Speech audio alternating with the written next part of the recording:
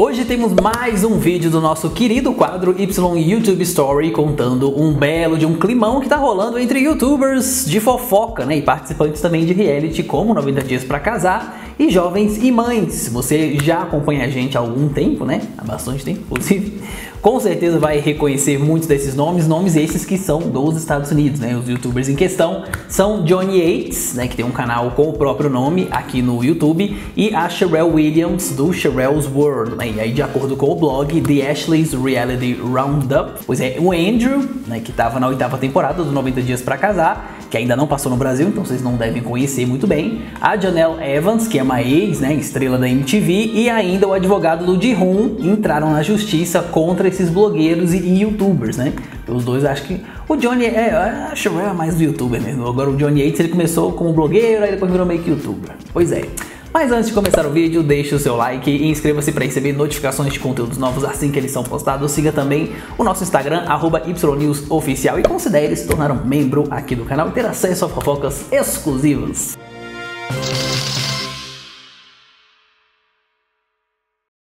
Entender essa treta, eu queria primeiro dizer que esses blogueiros, né, as páginas gringas, né, principalmente as americanas, têm fama de pegarem muito pesado nas piadas, né, nas indiretas, nas ironias também. É muito pior do que aqui no Brasil, porque eles não se importam assim se a pessoa tem algum problema sério, né, de saúde, se a situação era bem mais complicada. É, sai, eles saem debochando assim sem dó mesmo, né, bem pior do que a gente é café com leite, perto do que eles fazem, né. Pois é, né? A Sherelle, ela tem um canal aqui no YouTube com 290 mil inscritos chamado Sherelle's World, né? Ou Mundo da Sherelle. E o Johnny Yates, ele faz várias lives e é amigo aí de né, muitos membros do 90 Dias para Casar, na verdade ele se diz amigo, né? Mas enfim, a gente sabe bem como é que funcionam essas coisas de internet.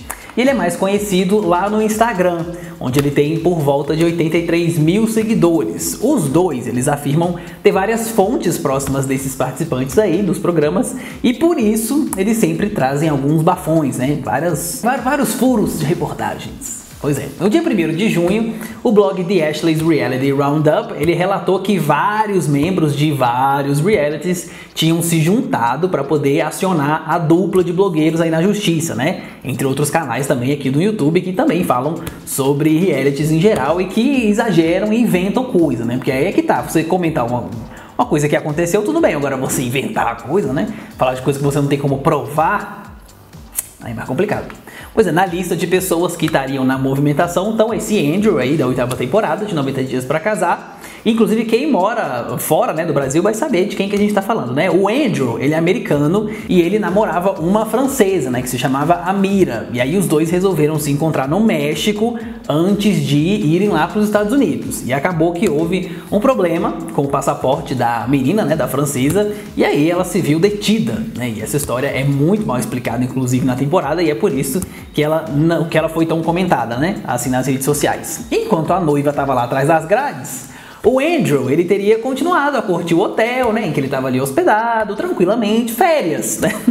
E não teria se esforçado muito para poder ajudar a moça, né? E aí isso causou uma revolta muito grande no público e ele acabou virando um dos vilões da temporada. Ele até hoje estampa vários memes aí, brincadeiras também bem grotescas dos americanos. A Janelle, que vocês já bem conhecem, né? Ela foi dos Jovens e Mães da MTV e tem um longo histórico também de barraco, né? Ela acabou demitida do programa há alguns anos já, porque o então marido dela teria né, tirado a vida do cachorrinho da família. A gente já contou isso no vídeo aqui. E aí depois disso, ela se envolveu em vários outros escândalos também, sendo o mais recente, né, envolvendo a guarda dos filhos. Já os advogados do Ji-Hoon, eu já contei mais ou menos também essa história aqui no canal, o que, que aconteceu.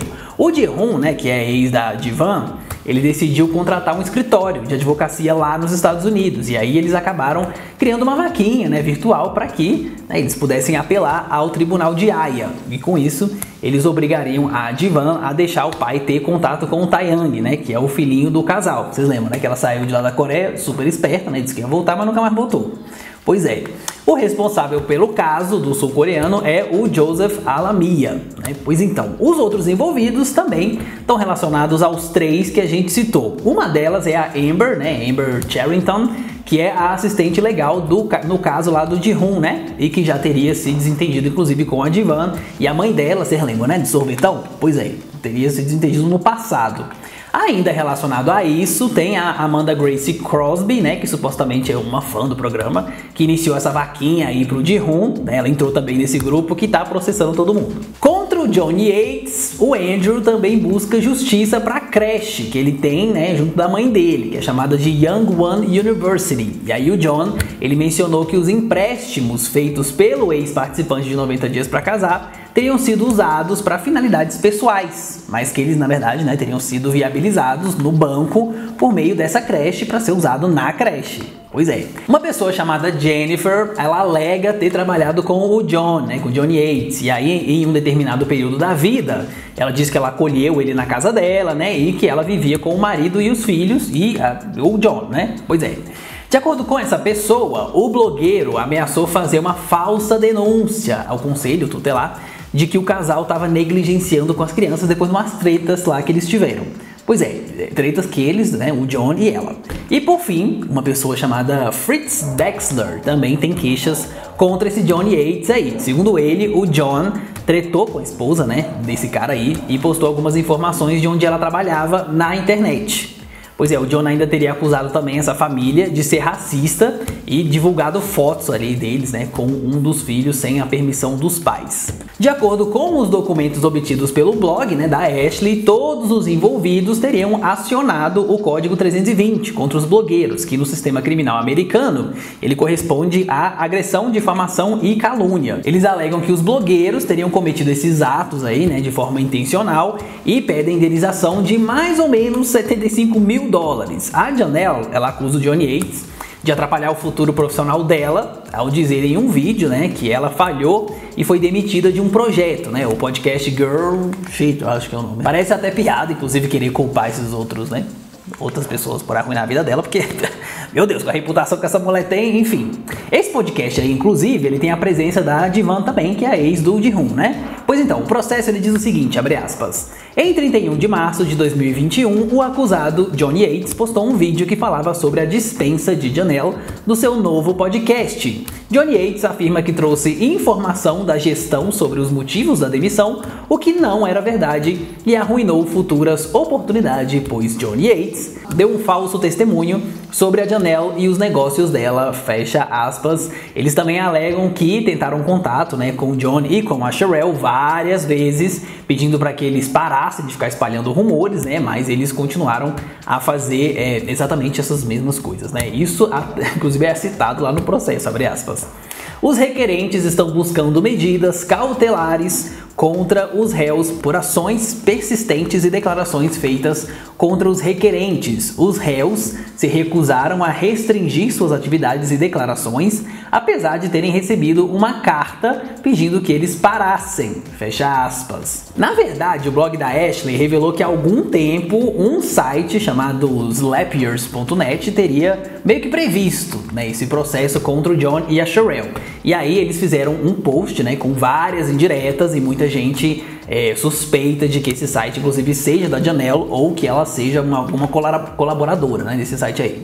Pois é, em um dos trechos do post, o autor diz o seguinte, abre aspas, Cuidado trolls, cuidado haters e muito cuidado blogueiros. Parece que esses ex-membros de 90 dias e jovens e mães têm se encontrado secretamente com advogados para pegar vocês e fazer vocês pagarem por tudo. A missão de vocês era expor eles, os participantes né, dos realities. Agora é hora de provar do próprio veneno. De processos na Justiça Federal, acusações criminais, queixas estão sendo feitas e até ex-funcionários apareceram ninguém está salvo, fecha aspas. Por enquanto, a Sherelle não se manifestou em nenhuma das suas redes sociais, mas o Johnny Yates ele fez uma live de 19 minutos para poder comentar esse caso aí lá no canal do YouTube dele, né? Ele contou aos seguidores lá que a advogada dele achou que toda essa história era uma grande piada e que o processo não tinha bons argumentos para poder né, ser apresentados ali serem apresentados no tribunal. O John também explicou que ele já tem quase dois anos que tem problemas, né, com esse tal desse Fritz e a Jennifer,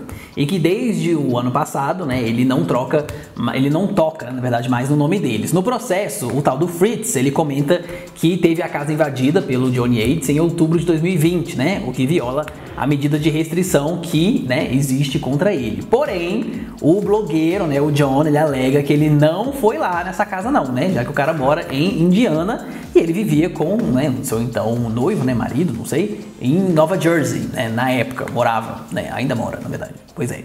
Inclusive ele fez uma live lá no dia, né, de, dentro da casa dele, o Johnny Yates, o que impossibilita a viagem, porque, né, os estados não são muito próximos, então seria meio difícil ele fazer uma live e estar tá na casa do outro no mesmo dia. O John e o marido também afirmam que eles brigaram na justiça por conta dessa medida protetiva aí e que eles inclusive ganharam a causa, né? E que a última vez que eles estiveram né, lá em Indiana, nessa cidade aí, foi em janeiro de 2020. Ele ainda explicou que Dona Janelle também tem teto de vidro, né? E que por isso ele e a advogada vão trabalhar juntos, né? E de fato, assim, depois ele não falou mais nada sobre esse assunto. O processo vem, né, menina? Mas e aí, hein? Quem que você acha que tá certo e quem tá errado nessa história toda? Comente aí o que você achou dessa treta toda. Antes de sair, deixe também o seu like e inscreva-se no canal para receber mais vídeos assim que eles são postados. Um beijo, um queijo e até a próxima.